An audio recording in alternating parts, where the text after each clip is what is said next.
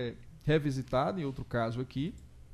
E eu já antecipo é, é, o meu entendimento de como, se esse caso, algum outro caso vier a ser analisado por esta, por esta corte, eu vou utilizar esses parâmetros de análise para aferir se temos ou não, no caso concreto, a incidência da competência por, por, por foro, por prerrogativa de função ou não, ou essa competência ela deve ser fixada de fato no juízo da primeira instância.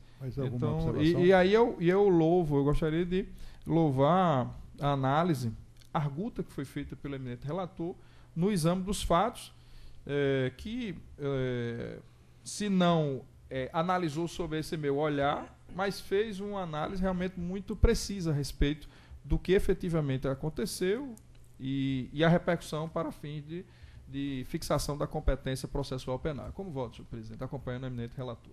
Mais alguma observação, senhor Só presidente? dizer que eu acompanho o relator com os acréscimos feitos pelo Dr. Carlos Wagner e finalmente por entender que é, a conduta não foi em função é, desempenhada pelo deputado na Assembleia. Então, por essas razões, acompanho o relator é, e acrescento as mesmas ponderações feitas pelo Dr. Carlos Wagner.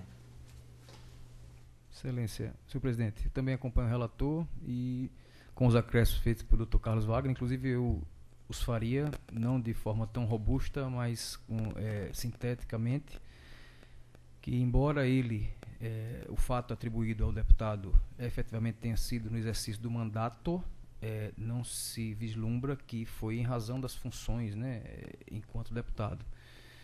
Talvez até é, o entendimento, o, a arguição do Ministério Público fosse outra se esse mesmo fato tivesse ocorrido fora da casa legislativa.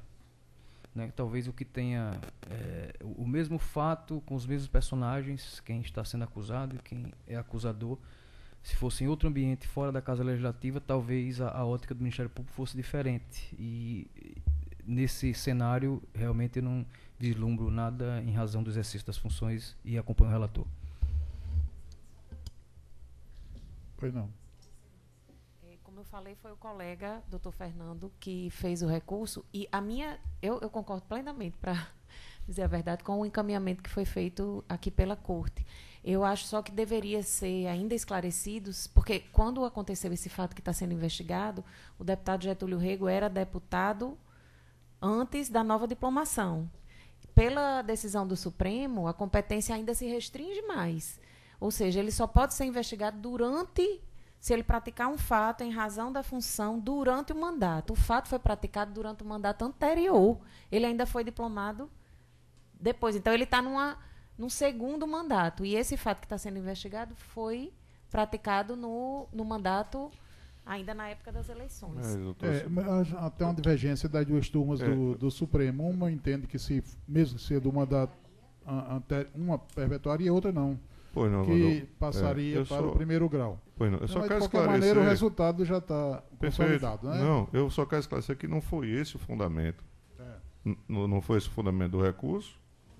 Portanto, essa matéria não foi devolvida ao meu conhecimento.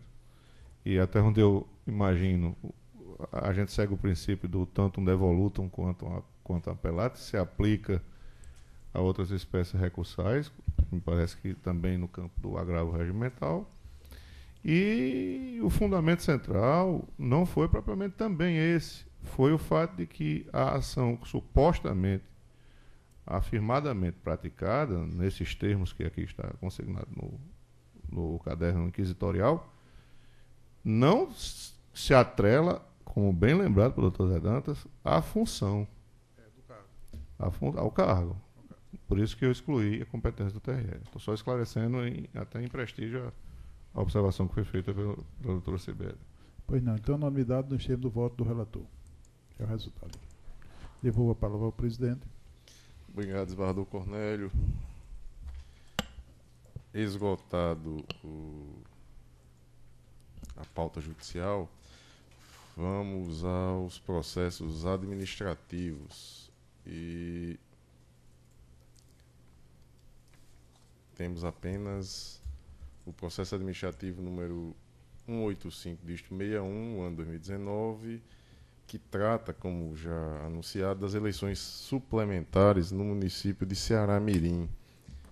A resolução ela foi disponibilizada eh, e aí eu peço a compreensão dos senhores com uma certa é, não respeitada aquele prazo que havíamos ajustado anteriormente, mas como é uma repetição das demais, mudando o que tem que ser mudado, é, eu submeto à Corte a sua aprovação e definindo como data da eleição o dia 1 de dezembro do ano de 2019.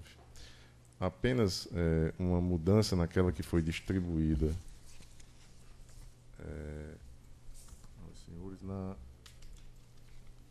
etapa aí do calendário, no dispositivo, deixe-me ver aqui.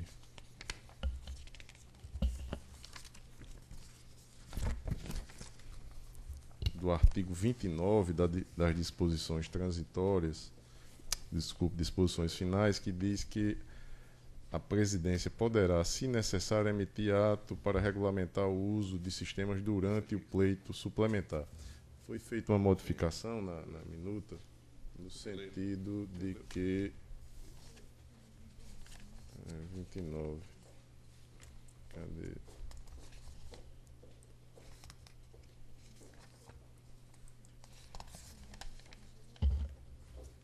A presidência e a corregedoria poderão, se necessário, emitir ato conjunto para regulamentar o uso de sistemas durante o pleito suplementar. Então, a mudança que foi feita na minuta é tão somente para agregar aqui é, a corregedoria para que é, eventual é, regulamentação seja em conjunto aí. E aí eu submeto à corte aí a aprovação da resolução. Eu voto Alguma pela observação? aprovação. Voto pela aprovação. Pela aprovação. Desembargador Cornélio. Também.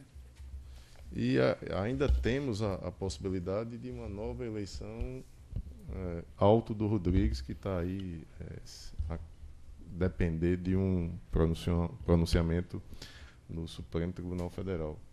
Se, se tem alguém tem mais uma notícia mais atualizada, não tem, né? Mas Vladimir tá aqui. Mas a última que temos é que estava na iminência de ser determinada essa nova eleição também em Alto Rodrigues. Mas fato é que. De, pois não?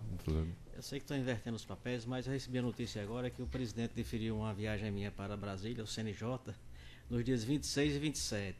Certo. Então eu quero pedir autorização no final da sessão, recebi a notícia agora, para me ausentar do Estado nesses dias, 26 e 27. da próxima semana. Eu acho que eu vou pedir vistas aqui. mas- Todos de acordo? Autorizado, doutor Zé Dantas. Alguma outra? Sim, aprovada a resolução. Eleição suplementar no município de Ceará- Mirim no dia 1 de dezembro. Alguma outra observação? Não há. Então, agradecendo a presença do doutor Fernando Jales, doutora Carolina Maciel. eh, declaro encerrada às 15 horas e 22 minutos a presente sessão.